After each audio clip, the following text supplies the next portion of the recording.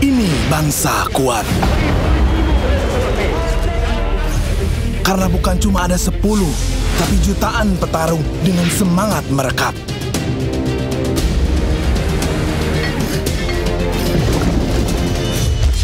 Menyerah nggak pernah ngalir dalam darah. Kita bangsa pejuang. Indonesia never quit.